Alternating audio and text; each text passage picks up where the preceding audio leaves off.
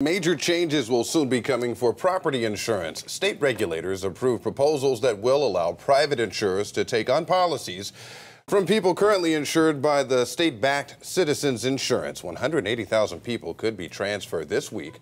Florida's insurance commissioner approved proposals from these six companies you see right there. Florida leaders have been pushing to move policies to the private market because of the financial burden on the state if a major storm hits. By the way, the companies could start transferring the policies as soon as mid October.